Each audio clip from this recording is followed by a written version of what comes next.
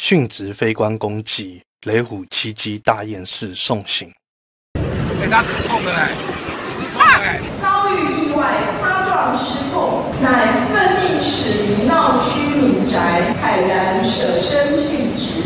发生在上个月的雷虎小组坠机意外，三十七岁飞官装备员为防伤及民众，驾驶飞机避开人群，最后坠毁紫关区农田。家属昨天上午在冈山空军官校举办公祭，雷虎小组出动飞机送他最后一程。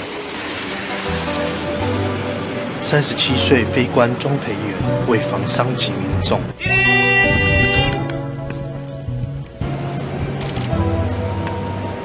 总统颁发包养令，